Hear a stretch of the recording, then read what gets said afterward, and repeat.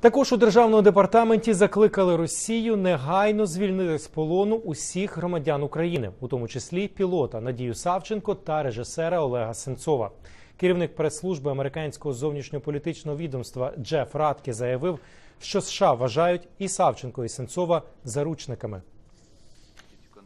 США не визнають російську анексію Криму, вкотре наголосив Джеф Радке.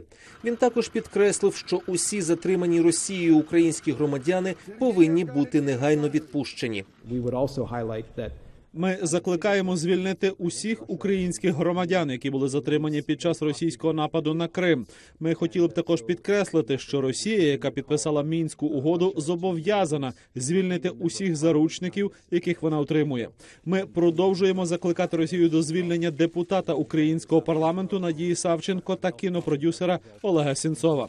Ми розуміємо, що пані Савченко має проблеми зі здоров'ям, які вона отримала в результаті перебування під вартою. Сполучені Штати вважають і Савченко, і Сенцова заручниками, підкреслив керівник прес-служби держдепартаменту.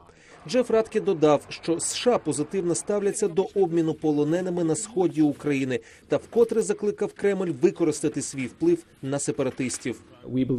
Exchanges Сполучені Штати вважають, що ці обміни разом із зменшенням насильства є позитивними кроками. Вони дають можливість політично врегулювати конфлікт відповідно до підписаних угод у мінську. Ми закликаємо Росію використати свій вплив на сепаратистів, яких вона підтримує, щоб негайно приступити до реалізації мінських зобов'язань, у тому числі повернути Україні контроль над її кордоном та працювати над мирним вирішенням конфлікту.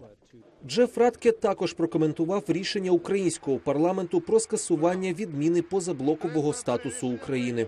Uh, Наша позиція не змінилася. Двері НАТО залишаються відкритими. Країни, які готові і мають можливість долучитися до євроатлантичної безпеки, вільні подавати заявку на членство. Але НАТО запрошує до себе країни, коли вони готові до цього. І це рішення альянсу та України. Вступ до НАТО це процес, який триває протягом певного часу. Будь-яке рішення це справа альянсу та України, і воно має бути ухвалене без зовнішнього тиску. Сполучені Штати разом із союзниками продовжать співпрацювати з Україною, і від України залежить, чи вона хоче стати членом альянсу.